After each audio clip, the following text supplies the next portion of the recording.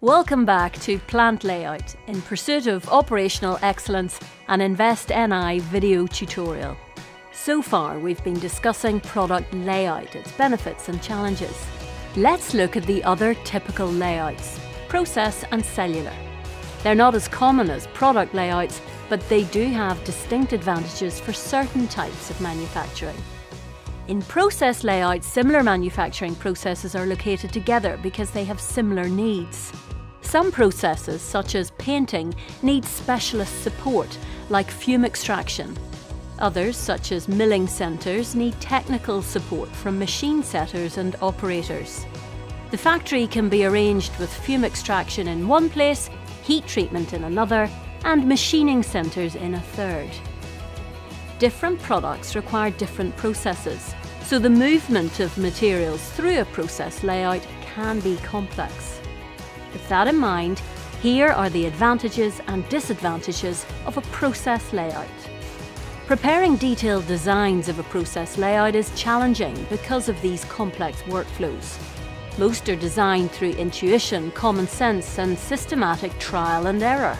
Even so, here are a few questions to guide your experimentation. How much space does each work centre need? What are the constraints on the shape of the area allocated for each work centre? What's the direction and the strength of the flow between each work centre?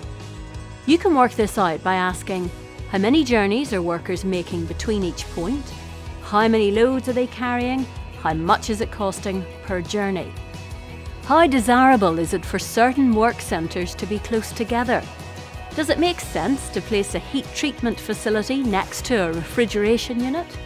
In fact, you should give a good deal of thought to where you locate your work centres in a process flow.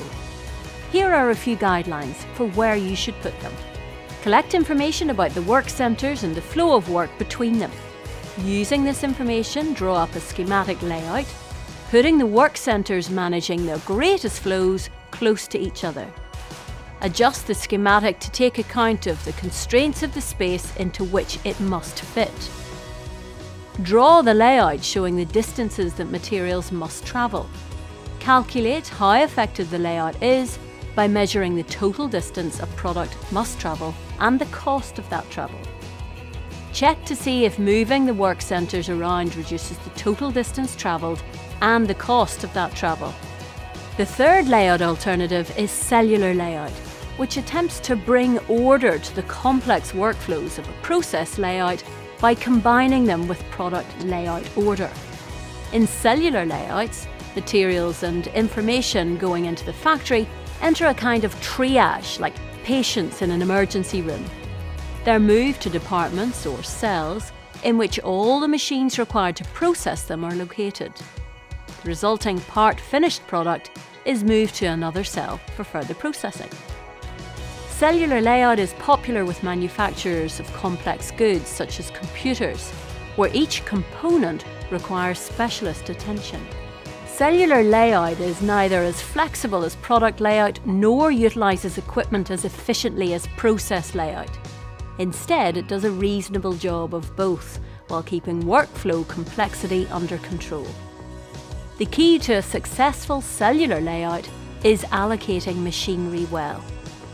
One way is to group processes that complement each other. Imagine a furniture factory producing pieces in wood. With all the parts that need holes in them also need those holes to be countersunk, it makes sense to locate the drilling and the countersinking machines in the same cell. Another is to organise cells around groups of products known as product families. Each product family shares similar qualities of size, shape and material. In the furniture factory, drawers and shelves share more in common than kitchen bench tops. The factory cells can be designed to co-locate the necessary processes for each family. A useful way to allocate machines to cells is production flow analysis. The first step is to create a matrix of your product families and the machines that are needed to produce them.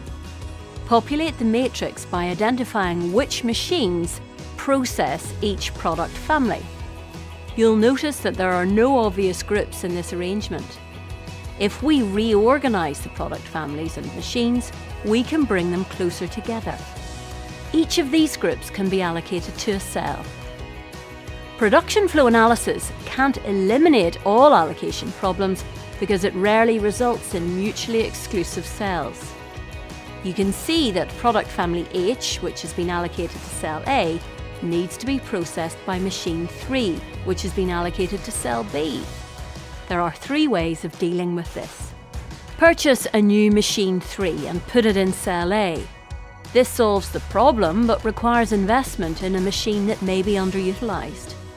Send products from family H to cell B after they've been processed in cell A.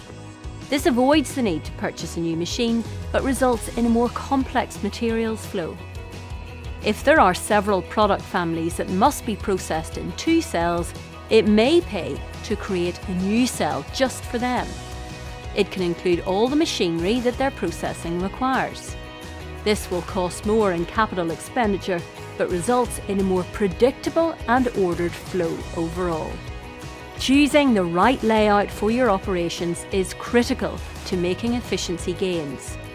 In the next chapter, we'll look at the tools you can use to measure your current operations processes. We'll then explore how they can inform your design choices. See you soon.